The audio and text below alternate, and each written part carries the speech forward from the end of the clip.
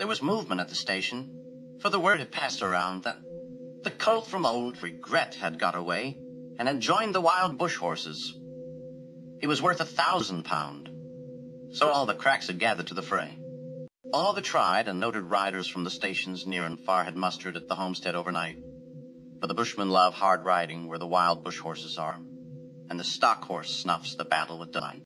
There was Harrison who made his pile when Pardon won the cup. The old man with his hair as white as snow, but few could ride beside him when his blood was fairly up. He would go wherever horse and man could go. And Clancy of the Overflow came down to lend a hand. No better horseman ever held the reins.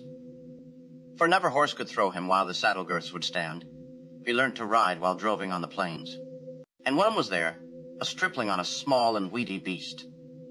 He was something like a racehorse undersized, with a touch of Timor pony. Three parts thoroughbred at least, and such as are by mountain horsemen prized.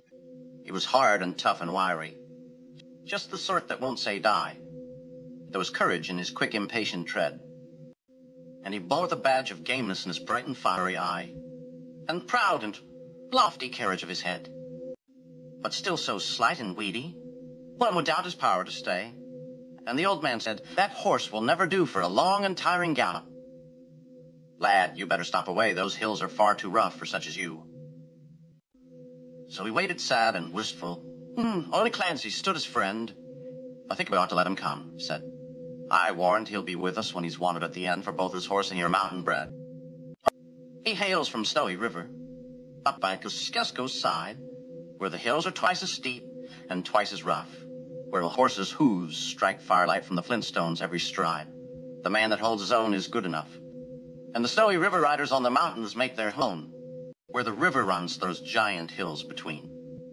I have seen full many horsemen since I first commenced to roam, but nowhere yet such horsemen have I seen. Oh, they went, they, they found the horses by the big mimosa clumps. They raced away towards the mountain's brow, and the old man gave his orders, boys. Go at them from the jump. No use to try for fancy riding now.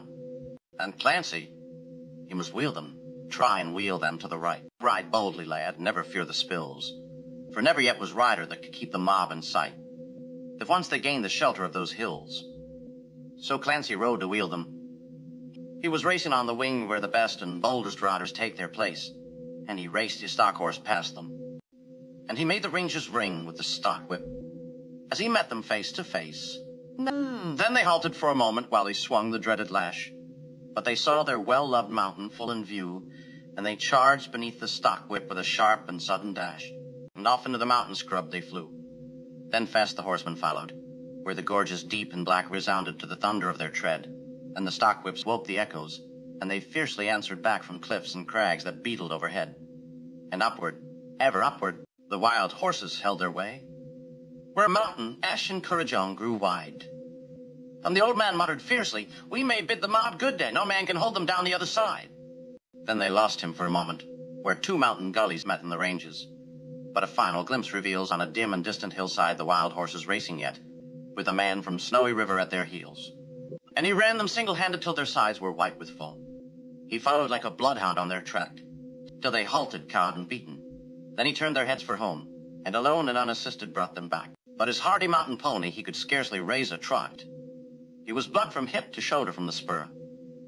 But his pluck was still undaunted, and his courage fiery hot, for never yet was mountain horse a cur and down by Kosciuszko, where the pine-clad ridges raise their torn and rugged battlements on high, where the air is clear as crystal, and the white stars fairly blaze at midnight in the cold and frosty sky, and where around the overflow the reed beds sweep and sway to the breezes, and the rolling plains are wide. The man from Snowy River is a household word today, and the stockmen tell the story of his ride.